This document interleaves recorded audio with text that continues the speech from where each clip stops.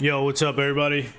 I just want to put this clip out of there on the internet how Kevin O'Leary loves Bitcoin. So this is an old one from 2013. yesterday. Let's take Well, a listen. Let's remember that until yesterday, most people around the world never heard of Bitcoin.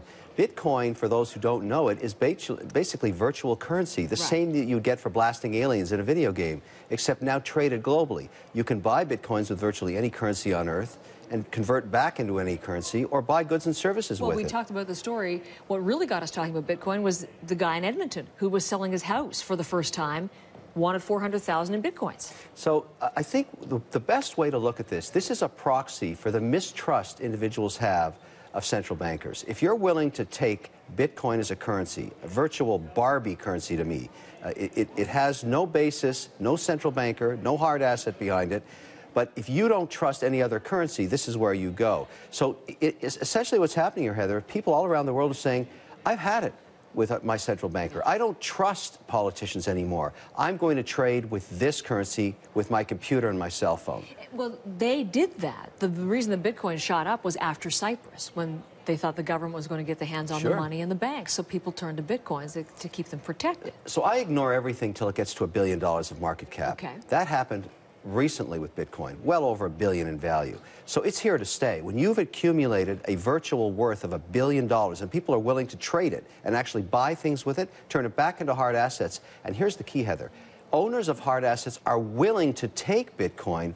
This is here to stay. That's what's going to happen. And no central banker can control it. But you Whoa, bro, you hear that? It's here to stay. This is back in like 2012, 2013, dude, when Bitcoin was like 200 bucks. This dude's out here saying it's here to stay. Now you see him on CNBC and all the news, mainstream media. He's ripping it, saying he doesn't hold it, he doesn't like it, it's garbage, going to zero, this, that, and the other thing. Look at these dudes, man. This is what they do. You got to think for yourself.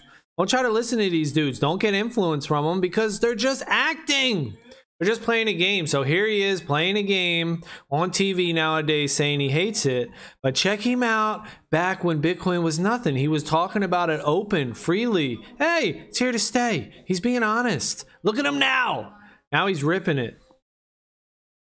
you just called it a Barbie currency. I was going to say, is it all hocus pocus? I mean, is it a legitimate form of currency to trade? It is. And as soon as it passed Dude, is it a legitimate form of currency? It is. a billion and someone bought uh, a hard asset with it in Right. my books as an investor it became real. Now at the same time because relative to all other currencies it's tiny. A billion dollars is irrelevant in the currency market. Remember the currency markets are the largest markets on earth bigger than commodities bigger than stocks bigger than bonds. It's going to grow but it's going to take a long time. But the key is volatility you, no, nobody's going to put a large part of their net worth into this thing because it can go up and down 60% in a day, as we saw yesterday. But is it here to stay? Oh, yeah. So will I take 2 or 3% in bitcoins? I think I might. I'm going to start looking at it. Are you really? I was going to say, are you into this at all? I have a basket of currencies, Heather. The way you diversify your risk in currencies is to own many of them. I own euros, I own Swiss francs, I own Canadian dollars, American dollars, and I might start to dabble, a little dabble do you, in Bitcoin. gonna- That's exactly what I was going to say. All right, well, I mean, whatever, dude. Anyway, it's all about personal responsibility. The dude's a tool. He's rich as hell, so, you know, whatever. It's just, it sucks that these people get out there and they play that game to the public, you know? They act one way to keep everybody down, and then they do something behind the scenes. But he's not your daddy. He's not your hero. He's not your savior. You got to do it on your own, personal responsibility. Bitcoin's like $25,000 right now. 23, whatever the hell it is. It's going a lot higher.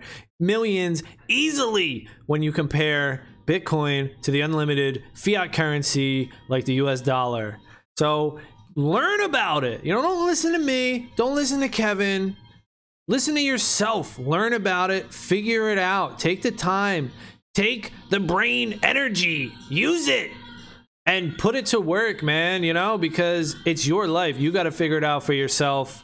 This is just an example of how Kevin O'Leary and all mainly who knows all these people that are rich they're just playing a game they're just acting they're playing the heel it's like Colby Covington in MMA you know they're playing it's entertainment you got to make your own decisions. All right merry christmas everybody. Thank you all for watching. Later